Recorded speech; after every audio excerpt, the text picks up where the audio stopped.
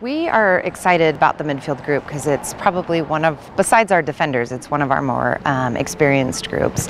And, you know, we have a couple returners in the four and six position in um, Tristan Spooner and McKenna Bambi.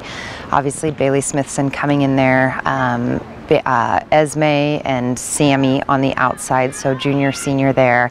Um, and then Megan Jr. So quite a few really strong players that have quite a bit of education with the system from the spring to now, and um, just bringing a lot of experience to the midfield group. So we're excited about that, and they're they're proving that experience is, is beneficial right now. So we spend a lot of time talking about how to defend properly, how to shift the defense, and how when one steps cover because the um, the main job of a holding mid is to basically sweep in front of the defense and to keep the ball away from them for as long as you can. So that's pretty much what we've just been working on, just making sure that we can um, hold our own in the midfield and protect the middle of the field because that's really where it's most dangerous. Um, I think it's the mentality that we have as a team. This year it's totally different. Like you can feel it in practice and like everyone's excited to be here. Everyone wants to win.